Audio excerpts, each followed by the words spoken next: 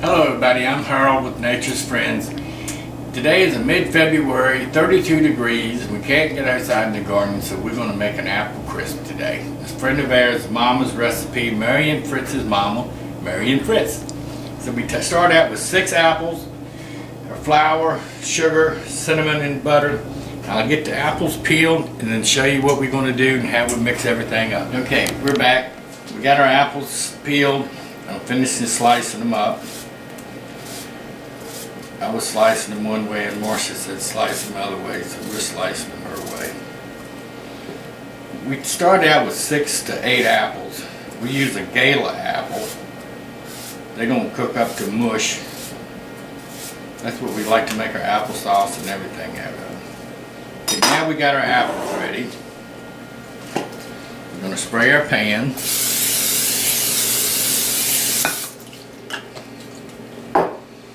Spread our apples in there.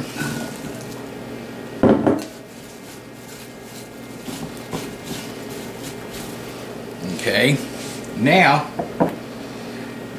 we've got one cup of sugar, three quarters of a cup of flour, one stick of butter, room temperature,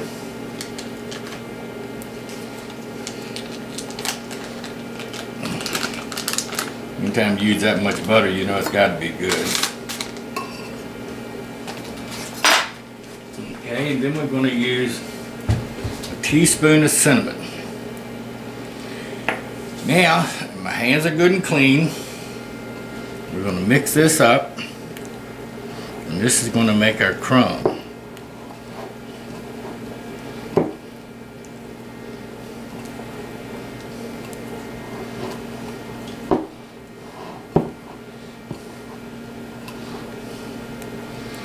I got to get it all off my fingers.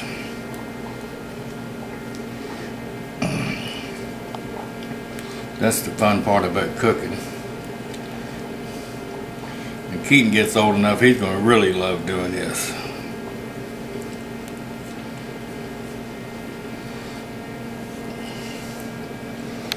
There's no easy way of getting this stuff off.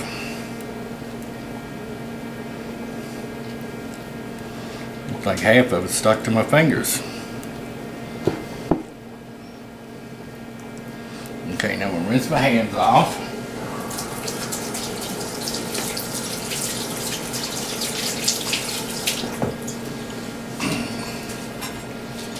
That's good enough for now. Now we're just going to mix this right over the apple.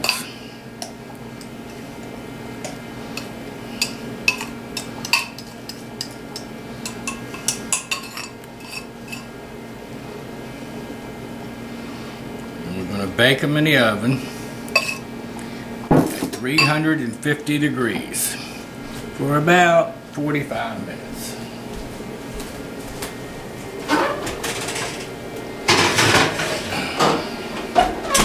And we'll take it out in 45 minutes and show you what it looks like and I'll show you what it tastes like. Okay everybody, now the apple crisp is ready to come out of the oven.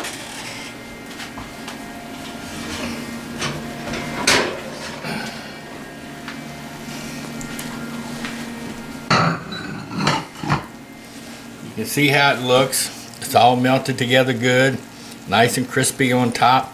I actually cooked it for 50 minutes instead of 45. I added five more minutes to it. So you can make Grandma Fritz's. No, it's Mama Fritz's, Marion's mama. Her apple crisp, and I hope you enjoy it. If you have any questions, you can email me at naturesfriends at embarkmail.com. Thank you.